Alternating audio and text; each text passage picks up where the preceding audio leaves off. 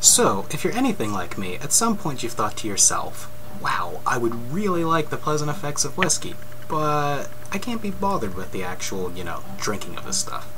I've got a solution for you on that one, my friend. You only need a couple of household items. A drill, cork,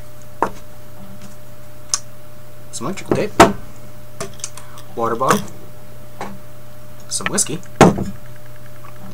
move that further out of the way, and a pump of some sorts. I've actually got a Huffy Sports NBA basketball pump.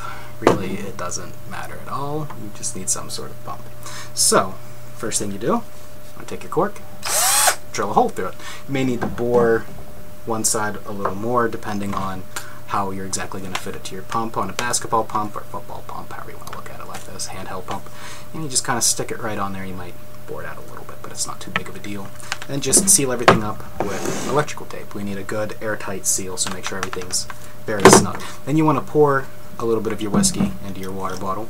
Like, I'm talking a tiny, tiny bit at the bottom. Like, a third of a shot, maybe a quarter of a shot. I'm really eyeballing at this point. But, your next step is to put your pump, get a good tight seal. we're going to pressurize this as much as we can, poof! Quickly pull it off, and we've got vapor. Entirely pleasant. Now, as a biochemist, it behooves me to mention that this is entirely reckless. You don't want to do this. This bypasses our body's normal way of processing alcohol, ethanol in this case.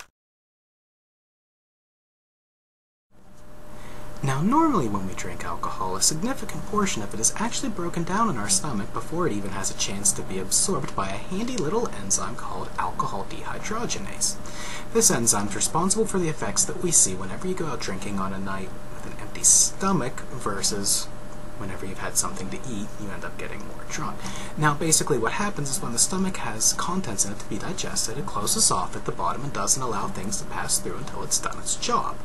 Well, the longer that the alcohol is in the stomach with the food, the more chance there is for alcohol dehydrogenase to do its thing. Now, when you breathe alcohol, this enzyme has no chance to do anything at all, and actually breathing it in straight into your lungs takes it directly into your bloodstream even faster than through the small intestine. So the effects of this are incredibly intense and, well, a bad idea. A tiny little bit will go much farther. So just don't do it. It's reckless. Please, this was just for entertainment.